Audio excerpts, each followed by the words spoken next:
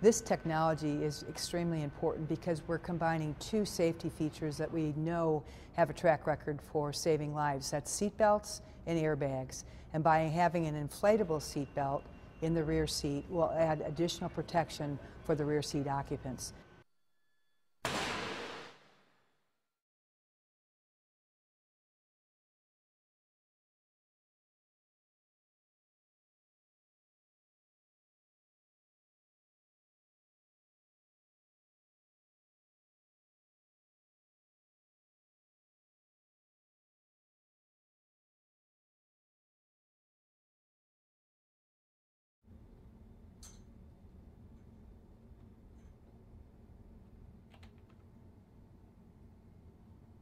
Child injury prevention is really complex. Children are growing and developing, the world around them is changing, and we need to have a broad perspective.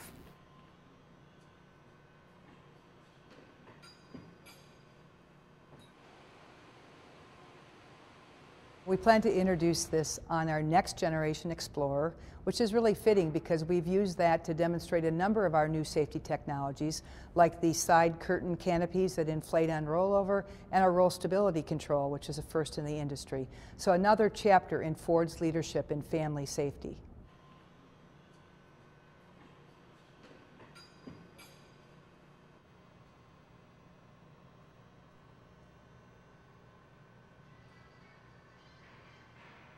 That's really important because we need to encourage people to wear their seatbelts, and not many people in the back seat do, only about 60% do, and we really want to get everybody buckled up because that truly does save lives.